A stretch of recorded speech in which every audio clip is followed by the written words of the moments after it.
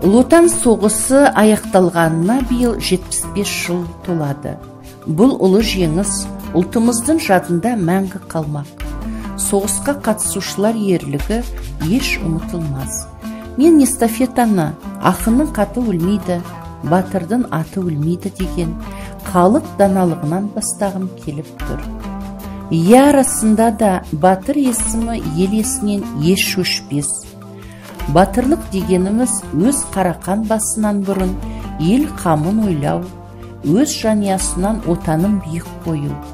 Дәл осындай батыр да ер жүрек ел тағдырын бәрінен биік қойған орден медальдары төс кеудесіне қондырған менің атам әлмұхамбетов жарға қаштайұлының өмір дерегіне шолу жасамақшымын.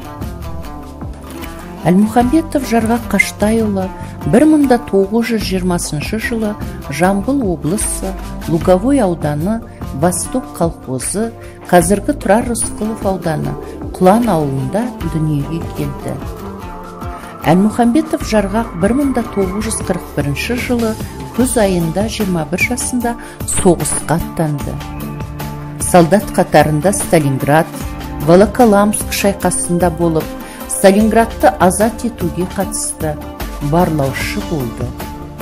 Бірінші дәрежелі отан соғысы орденімен маршал жуков орденімен ерлігі үшін қызыл жұлдыз медальдарымен марапатталған. 1944 жылдың аяғында ленинградты азат ету шайқасында жараланып елге оралды. Елге оралғаннан кейін еңбегін восток колхозында есепші қызылша бригадирі сиыр фермасының меңгерушісі және осы колхоздың басшысы қызметтерде жұмыс істеді. Еңбек наградалары бүкіл одақтық ауыл шаруашылық көрмесіне 1958 жылы мәскеуде өткен 26 партия съезіне делегат болып қатысып қайтты. Үздік жұмысы үшін бірнеше құрмет мақтау грамоталары медальдарымен марапатталған.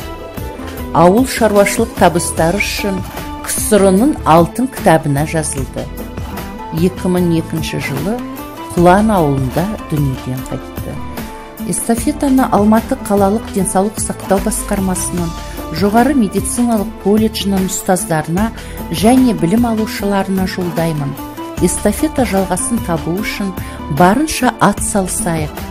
Ұлы азаматтардың есімі жастардың жүрегінде қалып жігер береді деп сенемін. Батырларымыздың тарих беттеріне ойып кеткен таңбадай салған ерлігі ел есінде сақталып өскелең ұрпаққа дәріптелуі керек.